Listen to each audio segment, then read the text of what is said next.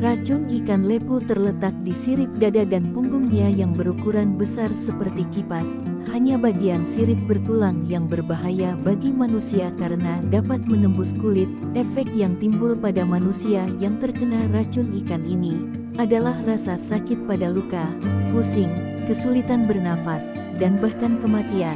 Namun kasus tersebut jarang terjadi. Pertolongan pertama yang bisa diberikan jika terkena racun dari ikan lepu ayam yaitu menyiram bagian yang terkena racun dengan air panas.